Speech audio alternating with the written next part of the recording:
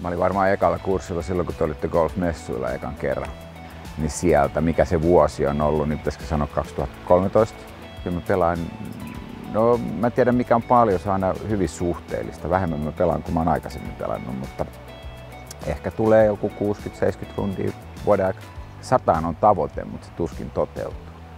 Ja mä toivoisin, että mä, mä näin semmoisen esimerkkihahmon joskus aikoinaan golfkentällä ja hänellä oli siis 92 vuotta ikää ja hän edelleen pystyy golfpalloa lyömään. Ähm, mä toivoisin, että mä siihen asti, kun mä täällä talsin, niin mä pystyisin talsiin niin, että, että voi olla myöskin golfkentällä.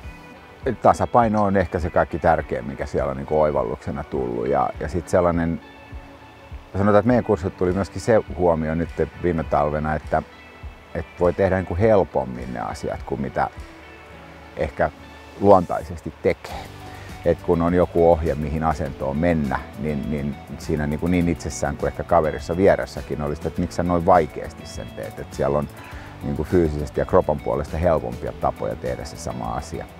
Ja, ja tota, niin se on ehkä sellainen no, oppiminen viime talvelta suoraan joogasta ja ehkä golfjoogastakin, niin, niin kentälle mä oon vienyt puttaamiseen hengityksen.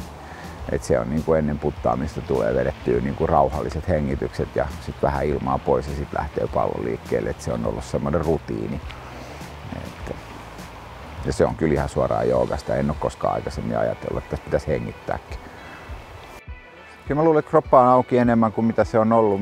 Mulle ei ole hirveästi ollut kropan toiminnan kanssa ongelmia muuta kuin sitten vanhoja urheiluvammatyyppisiä kulumia, mutta tota, niin ehkä se on vielä paremmin pysyy ainakin ylläpitänyt sitä. Ja sitten semmoinen rutiini on tullut, että mä teen aamuisin pienen liikesarjan, joka on mä menossa golfaa tai en mä menossa golfaa, niin mikä niin kuin avaa ylipäätään. Ja, ja mä luulen, että siinä on ollut jotain hyötyä.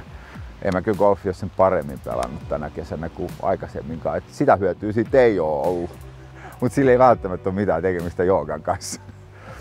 Varmastikin plus miinus 10 vuotta minuun, niin, niin ei haittaa yhtään, että lähtisi miettimään, että miten se kroppa voisi saada auki. Ja ehkä vielä nuoremmatkin, että siitä tulisi rutiini, joka sitten hyödyttäisi sitten, kun on vähän vanhempi, että se olisi niin kuin se kroppa kunnossa.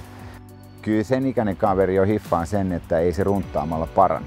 Se on joka kierros ihan yhtä huono se lopputulos, kun sä runttaat ja runttaat. Että kyllä se niin kuin kevennys siihen kaikkeen tekemiseen ja pieninkin parantuminen kropan liikkumiseen niin tekee paljon parempaa lopputulosta. Niin swingiin, pallon osumiseen, ehkä jopa pallon päätymiseen väylälle, kun se väkisin runttaa.